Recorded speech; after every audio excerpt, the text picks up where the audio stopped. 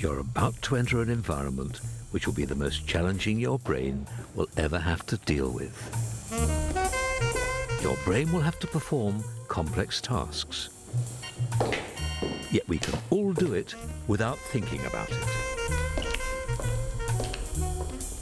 You're going to a party.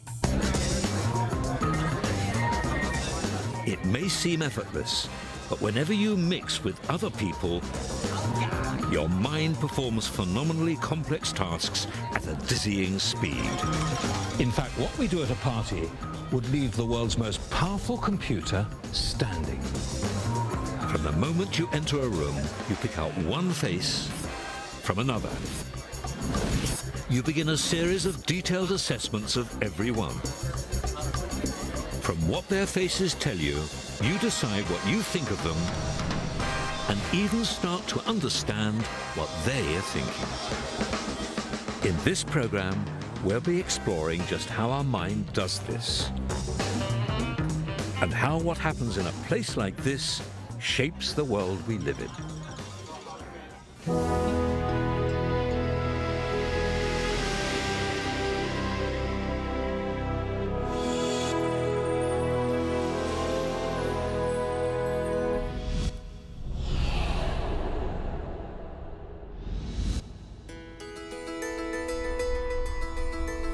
This is the story of how we relate to other people.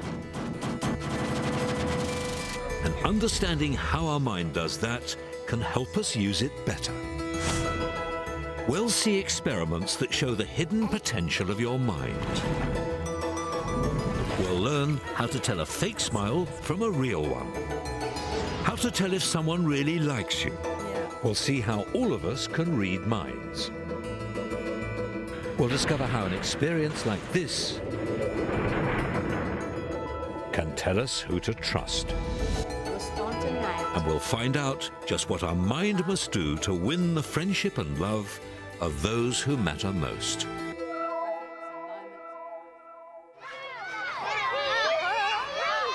We all rely on our mind as we try to win over people that we've never met before.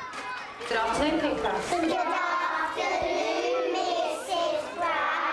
Are you sitting nicely? Yes, we are. But the mind of 30-year-old primary school teacher Mia Bragg is about to face a particularly tough challenge. Something very special. What's happening to Miss Bragg in the holiday? um, Mahadi. You're getting married. I'm getting married. But as well as tying the knot, Mia will also have to get to know dozens of people she's never met. New Zealand. And I tell you why, because my boyfriend comes from New Zealand. That's where his family are.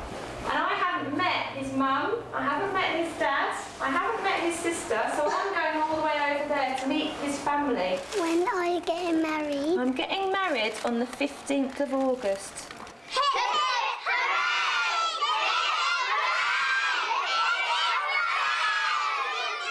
It's been an absolute whirlwind since me and Matt met. It's been like a fairy tale. When we met, and then a month and a half later, he moved in. Um, and then just after a month after that, we got engaged. Um, and it will be 10 months that we would have actually known each other when we get married. Ask her if Paul and that are coming around on Friday. Uh, um, Mia will have to assess, understand, and win round Matthew's family. It'll be one of the most complicated things her mind has ever done, and we'll be following her as she tries to do it. Yeah, on Friday. Yeah. Ah! No, we'll get on with them.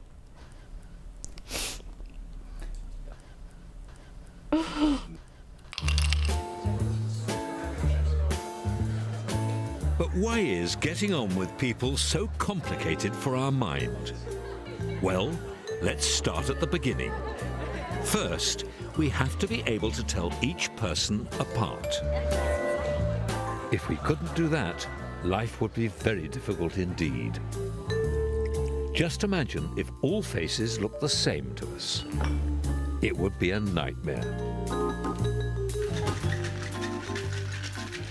But we can tell each other apart, and it's a skill we start to develop the first chance we get.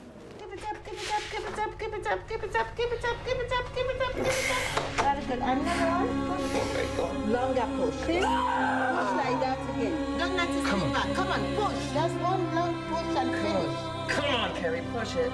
Come on, Carrie. Push again. And again, push, Carrie. This is the last one. Come on, Carrie. Keep panting now. Open your legs and pant. Keep panting.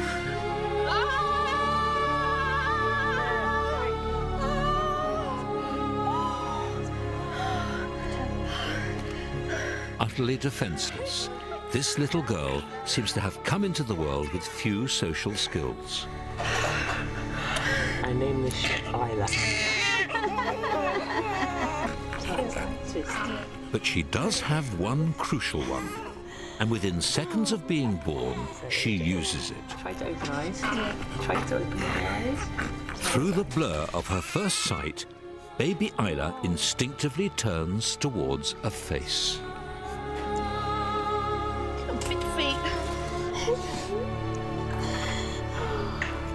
This strengthens the bond between her and her mother. But this, the first face she's ever seen, is also physically altering her brain.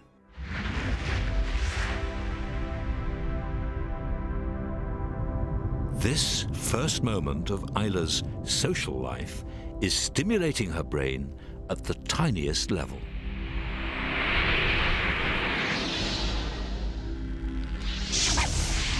Our brain contains complex networks of brain cells called neurons.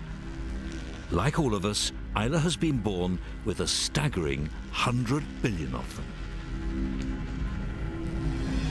These neurons are connected to each other at tiny junctions called synapses.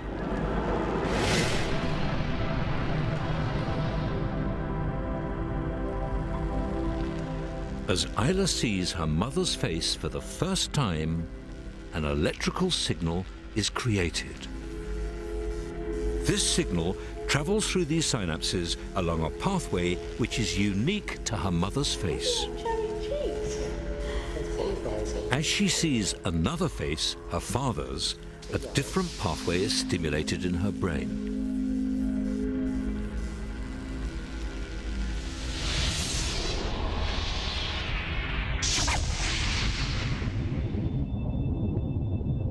From now on, Isla's brain will adapt and develop, creating many more pathways as she meets new people. But even at this tender age, a baby's ability to distinguish between faces is almost unbelievable. Now. What now?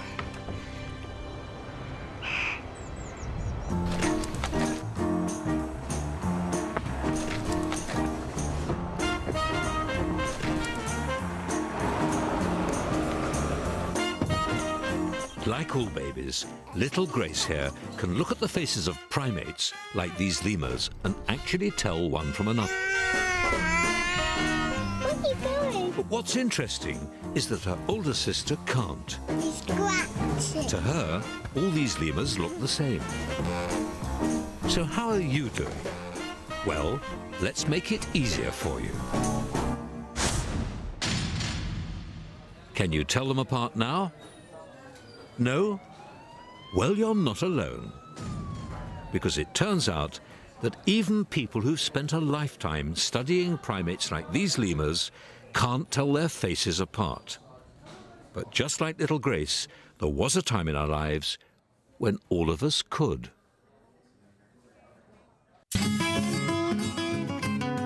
And scientists at Sheffield University have proved it. They showed primate faces to two sets of babies.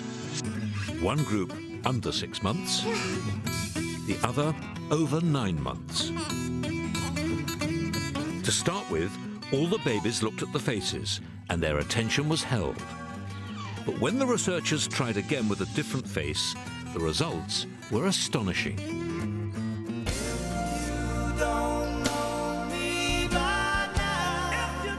The older babies refused to look at the new face.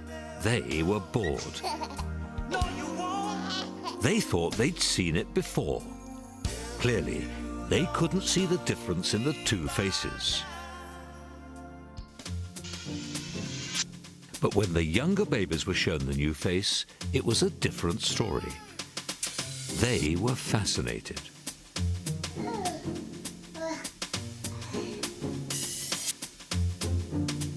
That's because they could see that this was a different lemur. But in order to get on in a world of humans, all babies have to lose this extraordinary skill. So what happens to make a baby's brain more like their parents? The answer to this tells us a lot about the way our brain develops its ability to communicate with other people.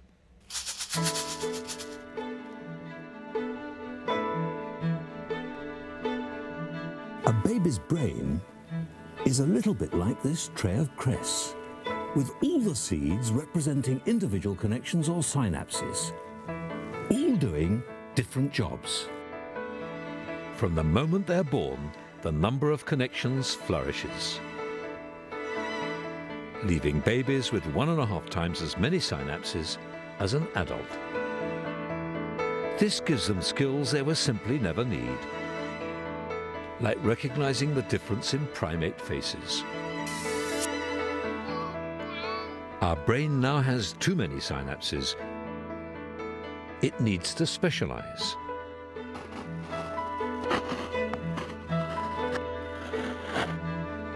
Which connections live and die depends on who we look at.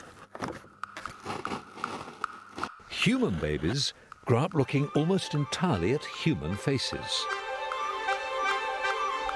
So the connections that process these continue to survive and grow. What babies don't use, they lose, including the connections that recognize primate faces. This means by 10 months, their skills at recognizing the difference in human faces are better than ever. As babies, our synapses are pruned to make us expert at dealing with other human beings, which is just as well because the world around us is about to get far more complicated.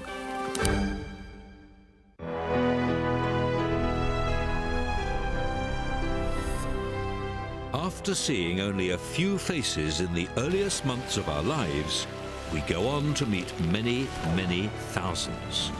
But because our minds now specialize in human faces, we become experts in distinguishing one from another. In fact, of the six billion people on Earth, most of us would be able to see a difference between every one of them.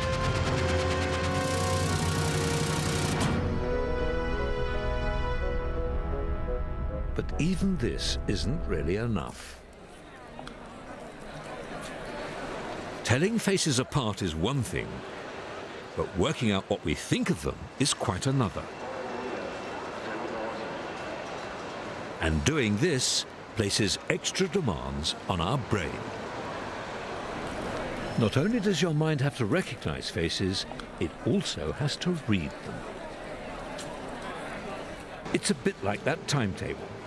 You may know what you're looking at, but unless you can understand what it all means, you're not going to get very far.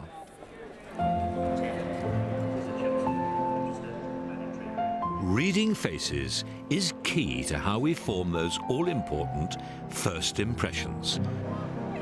It's the next step towards achieving what so much of our brain is devoted to. Getting on with people.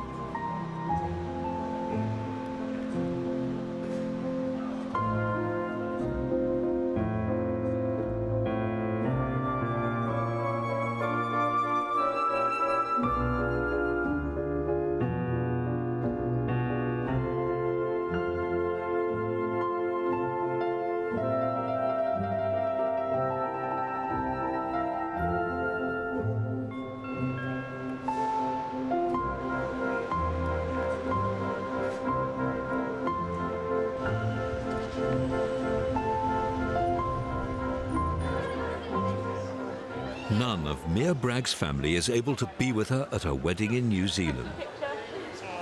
She'll be on her own as she meets her future in-laws for the first time. If Mia and her husband are to make a new life out there, it's vital that she gets on with them. Relax, Summer, relax before you get there. I suppose I'm worried that if I go out there and I don't like it, you know, how can I turn around and say that, you know, I don't, don't feel that this is the base that I want for the rest of my life. So yeah, I am definitely worried. It's a lot to think about.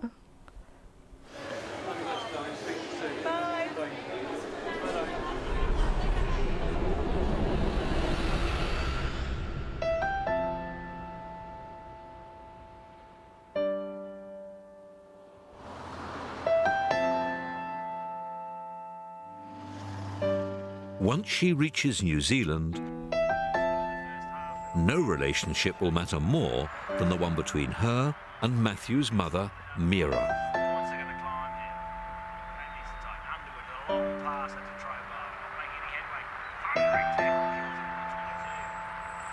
I think Mum's going to be excited, but she's also going to be very nervous about it too. I mean, it's not, not every day your son brings home a, a girl from overseas. Mum and me are both very, very strong-willed people, and they would both call a spade a spade. And that's where I could see conflict coming into the equation. I say it as it is. You know, if I don't like something, I say it, you know, whether they like it or not. It's too bad. if it's been bugging me for a while or someone's annoyed me for a while, and then bang, they get a mouthful. And, um, and that's how it is. So if Mia wants, you know, to get on, she's just got to be herself. Sometimes. Yeah, I had some of those and drink the coffee with. It's been cold. Huh? It is cold.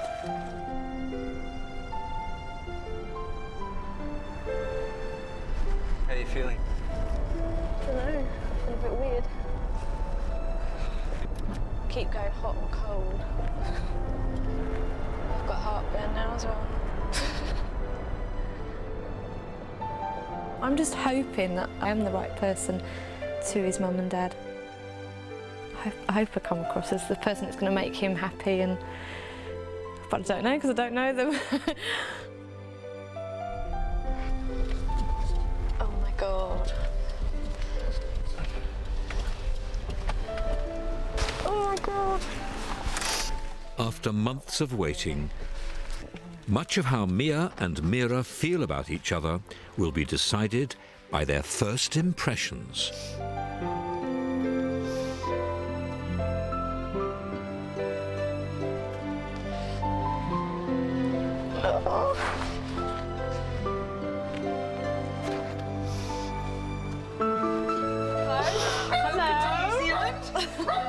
Oh, it's so good to meet you. Welcome to the family.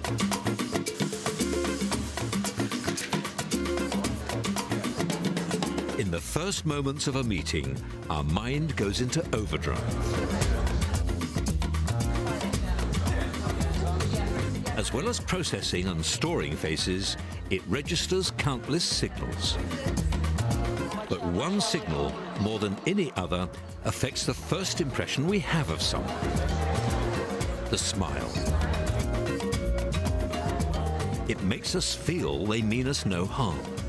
But in fact, your mind doesn't always know whether or not a smile is genuine. That is, unless you know what to look for.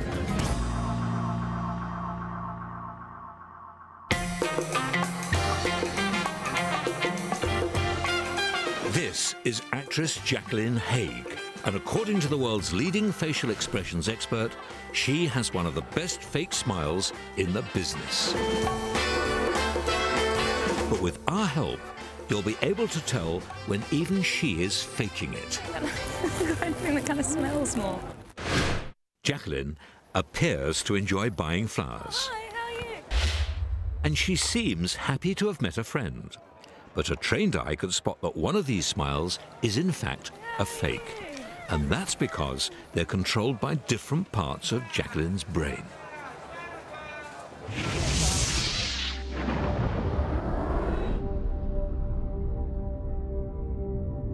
A fake smile involves a direct signal from one area of her brain to another.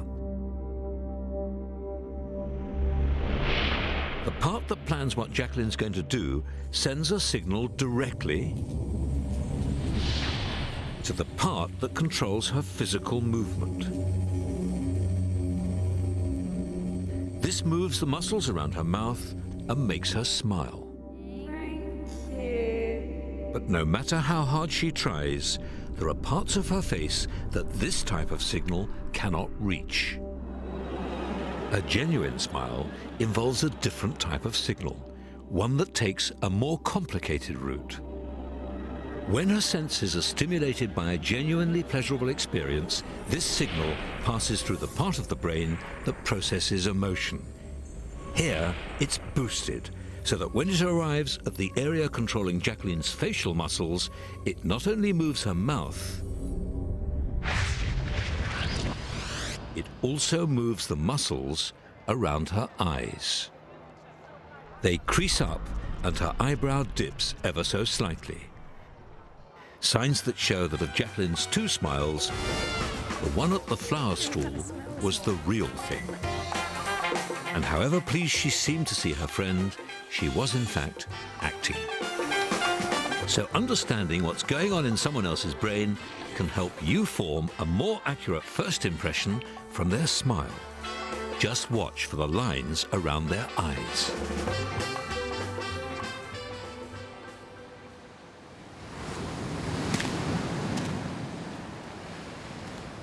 But the first impressions we form of people are also shaped by what happens in our own brains.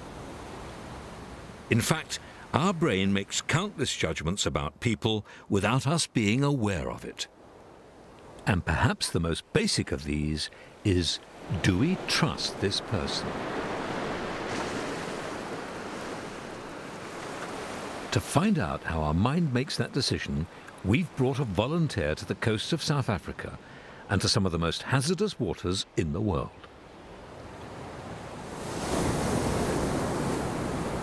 When we see someone we don't trust, a specific area of our brain is stimulated, like a bell that rings to tell us not to trust them. And crucially, it's the same bell that rings when we're frightened. To show how this trust area in our brain works, our volunteer has to become frightened. So he's come not to meet an untrustworthy person, but one ton of great white shark.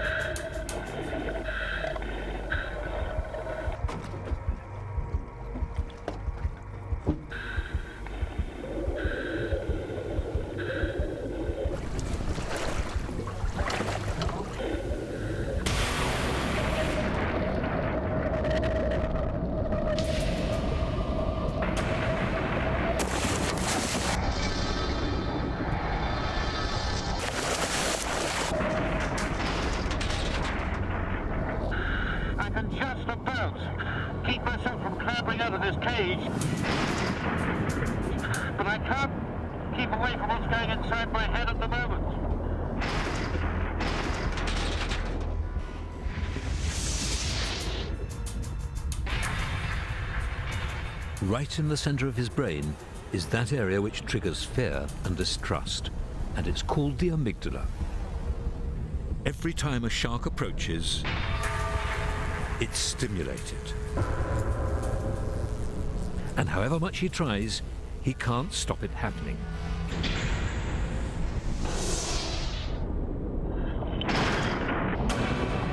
And it's that area inside his head that's causing him to feel frightened at this moment.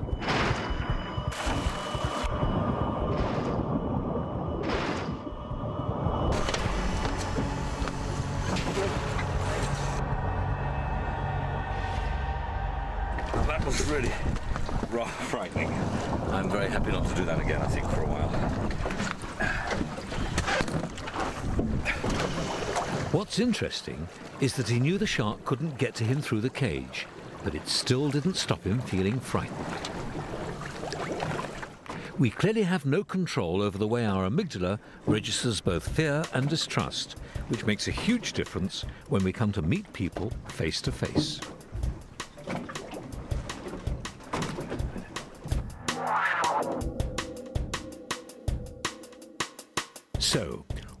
Triggers our brain to distrust people in a way we can't control? To find out, we decided to test a panel of 12 volunteers, our jury. We showed them a lineup of five men of the same age and racial background and asked the jury to decide who they trusted the least. This test was similar to research carried out by scientists in Boston. Our results, like theirs, help reveal which facial features trigger distrust. We believe the least trustworthy to be A,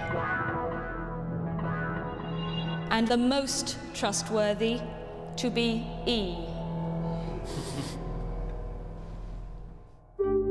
So why, according to the jury's first impressions, was this man the least trusted? And why was this man a close second? The answer is written on their faces. His features really stuck out Heavy as being featured. very sort of like the low Yeah. eyebrows, are very sort of shifty looking. Thin, weaselly features, and unfortunately for D, it was uh, his nose. The faces of both these men are non-symmetrical. They have smaller eyes and thinner faces than the other men. These features cause the feeling of distrust in the brains of our jury. And the two most trustworthy men? Well, both of them have broad features with smooth skin and large eyes, faces that scientists would say are baby-like. I imagine my mum going up to him and going like that. That's what made him most trustworthy for me. He was typically son-like. When we see faces like this, without knowing it, our natural feelings for children are often hijacked, and that causes a feeling of trust in our brains that we can't control. In fact, all these men were selected because they work in highly trusted positions. So next time you meet someone you don't trust, be careful. Your brain might be fooling you. Thank you.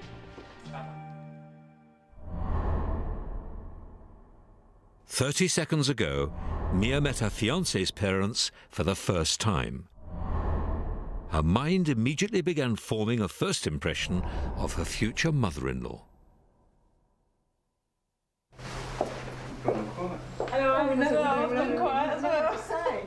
I'm not normally like this. I'm normally chat for England, but.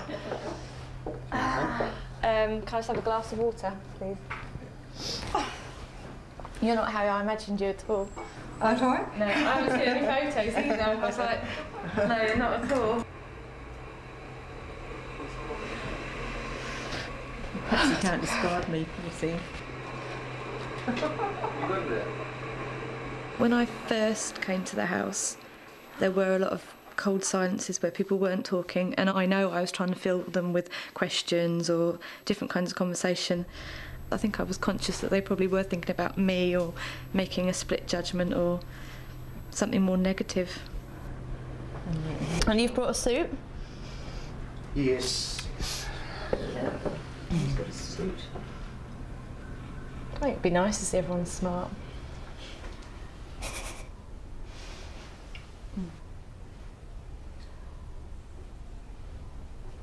I've written a speech.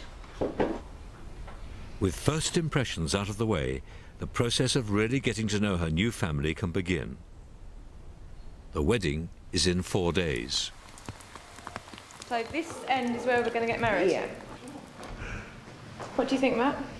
On her second day, things don't seem to be getting any easier. I mean, usually those sort of decisions are not mine. Because, um, I think I'm probably the most stressed I have felt. I just want them to get to know me. I don't want them to agree with everything about me, but I want them to get to know me and me the same as them. So, yeah, we can have a bit more of a joke.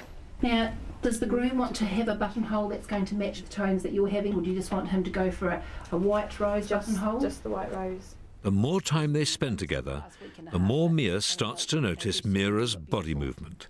And they've got Does this provide a clue things. They're a as to what she thinks of her? So they'll be lovely. Yeah, I hadn't even thought about the greenery around the edge, but I think that'd be nice. Yes. she does does that a lot. Either that or that.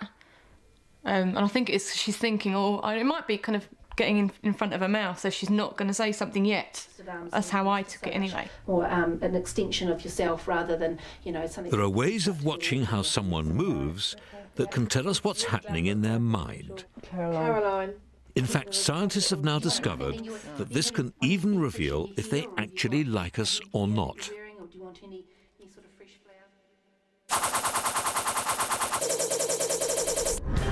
To show this, we took two men, Mr. Nice and Mr. Nasty, and placed them in a controlled environment. Then we asked several volunteers to meet them and discuss different subjects. Favourite films? Yeah, well, got plenty of those. Go, you go first. Um, what the volunteers didn't know was that while Mr. Nice was being friendly and warm, Just be terribly, terribly careful. You've been a lot. Mr. Nasty was being as negative and as difficult as possible. Tom Hanks, he, he did that one about AIDS, didn't he? Philadelphia story. Yeah, yeah, yeah. yeah. I didn't like that very much. No. Not really. But crucially, both Mr. Nice and Mr. Nasty have been asked to deliberately move their bodies in specific ways. So you got any more favourites? While cameras watched for a response in the volunteers that would reveal what was going on in their mind. a bit for what? Good in terms of variety. Yeah. Gradually, as the conversations developed, an extraordinary thing began to happen. I didn't. I didn't. The volunteers with Mr. Nice gradually began oh, to copy him. They kind of used those well, and the acting was so good, they kind of all got away with it. And the other ones, Last of the Mohicans. No, I didn't see I mean, I shouldn't. There's no, no reason to suggest that we should like that, but there's some. Meanwhile, those with Mr. Nasty didn't uh, copy him at all. Well, I'm really enjoying 24 at the moment. Have you seen that? Saw it once. Yeah, no, I didn't like it very much. No? No. And I think it's the sort of thing I like going to the cinema with myself. Because the volunteers like Mr. Nice, I Nice, mean, some people say they like to, you know, share the. their mind prompted them to mimic him. No, I often go by myself. Walk out of this room. A subconscious attempt to strengthen the bond between them. Because I've been in business. Well, that's what everyone says. It's fantastic. Get used to it. Yeah, you don't really.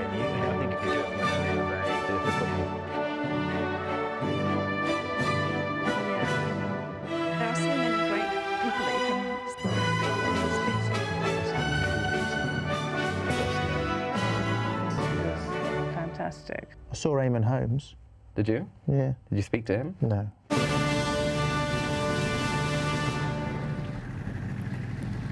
Scientists have known for some time that our mind automatically notices and sometimes even makes us mimic what other people are doing.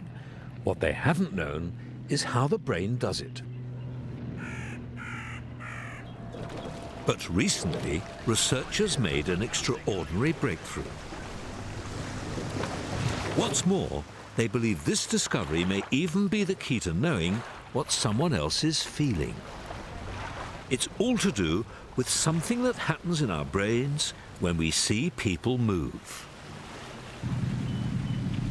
And if you want to know what that is, just watch these two crews race to that bridge. Attention!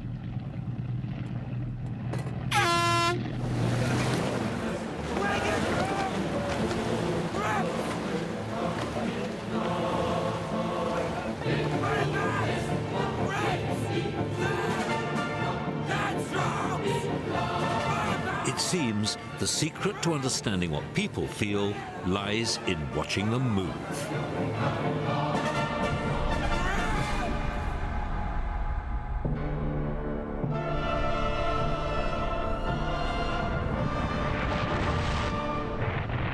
But to know what's now happening in your brain, we have to look at what's going on in theirs.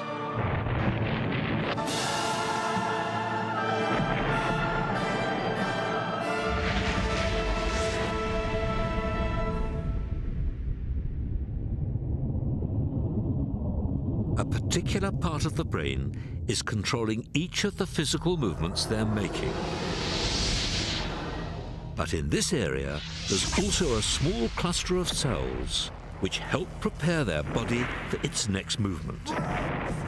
Every action, in this case it's rowing, has its own unique pattern. And scientists believe that these cells are the key to how human beings relate to each other. Because not only are these cells firing in the brains of the rowers, they're also firing in exactly the same way in the brain of anybody who's watching them.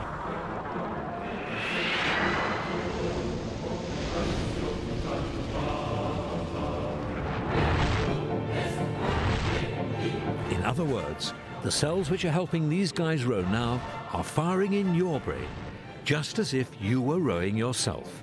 That's why they're called mirror neurons.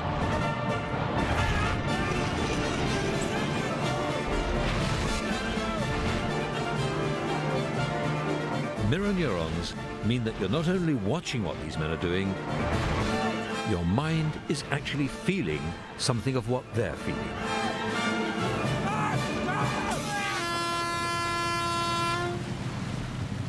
Even if you haven't done all the hard work. But how does all this affect your social life? Well, if you know what someone is feeling, the chances are you'll know what they're thinking.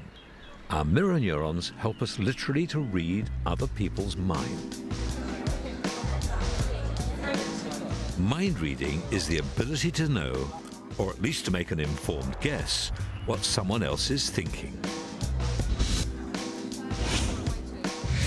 It's one of the most amazing skills the human mind possesses. And what's more, you do it with no apparent effort. Take this woman. In an instant, you can guess what she's thinking. And what's more, by also reading the mind of the person next to her, you can work out why she's feeling this way. What about a third person watching this scene? He clearly finds it funny that this man fancies someone who doesn't fancy him. While they've been reading each other's minds, you've been reading theirs. And what was happening in our heads to make it possible is astonishing.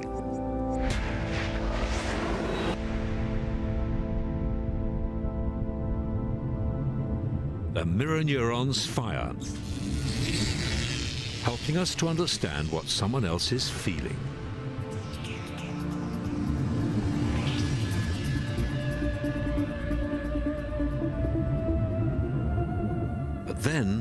Many other parts of the brain are triggered. Areas which allow us to recognize facial expressions. Areas which let us draw on memories and past experience.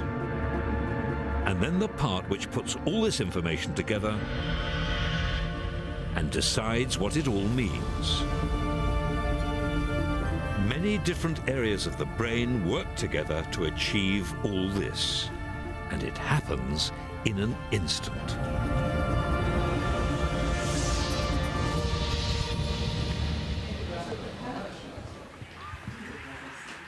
Out in New Zealand, things are becoming more relaxed between Mia Bragg and the woman who will in two days' time be her mother-in-law.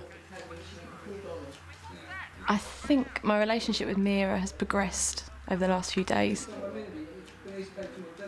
I think at the beginning she kind of kind of sat back and kind of not withdrew, but probably was thinking a lot more and pondering about things. Where now she'll come forwards more and talk more directly to me, which is a big thing. Did you meet Ginny? No, She wasn't we were running late to pop Oh, to the okay. hairdresser, so he literally ran in, got the. Um, It's Mia's mind-reading skills that are helping her better understand and get on with Mira. I think Mira is probably quite nervous about the wedding. So I'm being kind of very, very positive and I suppose giving her lots of praise and things I know she's already set up or organised. Do you like the ribbon Yeah. that she's got the. Because I think that would be perfect for my necklace. And I'm reassuring her on any situations or decisions that she made before I got here were the right ones. I think I made the right decision putting it in my suitcase. And over the last couple of days, I think I know from eye contact we're okay with each other. It's going to be fine. No, It is going to be fine. Do you like? Yes, I do. It's very nice. Yep. If I didn't think it was nice, I'd probably... you would tell me. well, I wouldn't tell you, but I think you'd sense that I would. Yeah, no. Yeah. Mind reading doesn't just happen with people we know. Virtually every time we meet someone, we try to work out what they're thinking. And this can make us say some surprising things. As actress Trisha Dibb found out when we asked her to do some retail therapy with a difference. She agreed to pick out the most unsuitable clothes she could find to make her look as unattractive as possible. I would look awful in that. We'll have to have it, okay? Oh, I haven't worn these since I was 16. Gotta have them. Look at them. What do you think? I would look absolutely awful in that. Nice. Nice. Look good. Do you like a bit of glitter? Once she'd made her selection, she would ask unsuspecting passers-by what they thought. Would people tell Trisha the truth, I can't go out like that. or would they read her mind and tell her what they thought she wanted to hear? Excuse me. Do you think these trousers suit me? Yeah, I do actually. Yeah? Yeah, they're, they're not tight. They're not too tight. No, they're not. Oh, it gets worse and worse. Excuse me. Hello. Just it suits me, does it? You think? Yeah, it does. Yeah. Yeah. The colours. Do you like the colours? Do you Yeah, think they suit right. me? No, that looks really yeah? nice, Yeah. yeah. Excuse me. Can I just ask you? Do you think this this suits me? What do you think?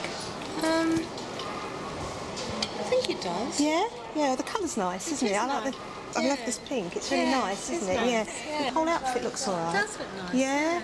Well, I thought she felt she looked nice in it, and I just didn't think that it was fair to tell her that she didn't. Excuse me. This suits me, doesn't it? Yeah. Yeah. What do you think about the colour? I didn't like the colour. I think the colour suits you. I think the colour suits Yeah. me.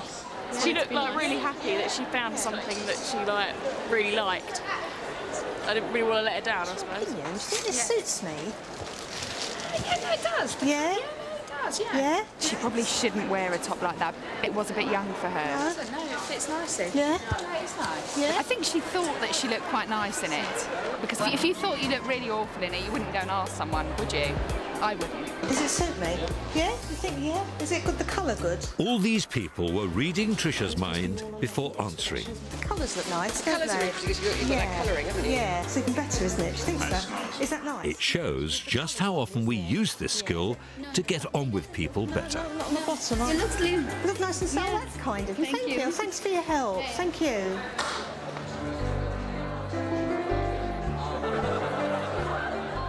But of course, socializing is only the start of the story.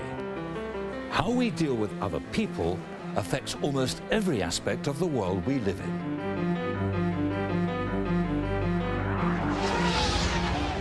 In ways we may never realize, we try to work out what others are thinking before deciding what to do ourselves. Mind reading drives our economy and shapes our society. It's what allows you to understand and accept that people have different interests and different views. And this is what allows us to have cultural and religious tolerance. This same skill lets you see the world through the eyes of people you've never even met. Able to imagine living other lives, we can create and appreciate so much of art, literature, and even entertainment.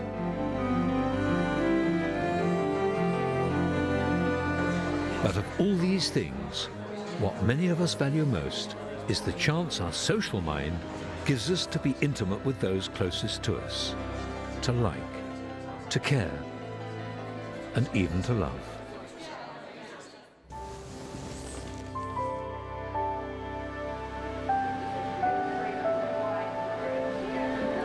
Oh, they look lovely. They're my mum's choice, those. This is going to make me cry.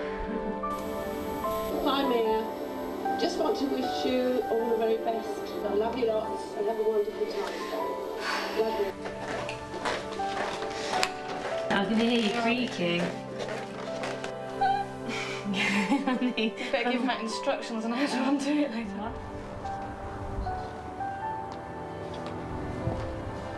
I think Mira thinks I'm good for Matt, and I think that's made the whole process of getting married so much easier. I mean, it could have been so different. It does make me feel really kind of relieved and relaxed, I suppose, that I have been accepted. She is a pleasant girl. She's gentle, she's caring, and she is nice, and I like her. So I feel totally relaxed with her. I didn't feel it right at the first instance that I met her. That is something that um, comes with being together in time. We all want to wish you the richest blessings that marriage can bring. Don't we, family and friends? Too oh, right. I will endeavour to do what I can for me own because she is part of the family.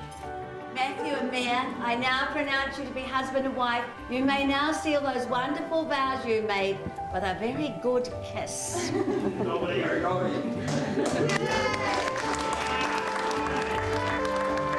I don't think my brain actually probably knows what it's done in the last week or so. It's had to cope with a whole range of situations that it has never had to cope with before. It probably would have been a lot easier if I'd met somebody in an Edgware pub. But no, you can't help who you fall in love with.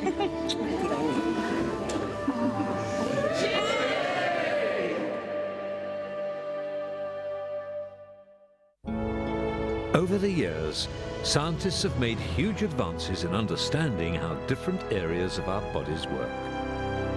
But in many ways, our mind has always been the least understood. That's partly because we're asking our mind to understand itself. But what we've seen in this series is that each discovery we do make about how our mind works can make us better at using it. And if we can use our mind better, the picture of what makes us who we are might, after all, become clearer.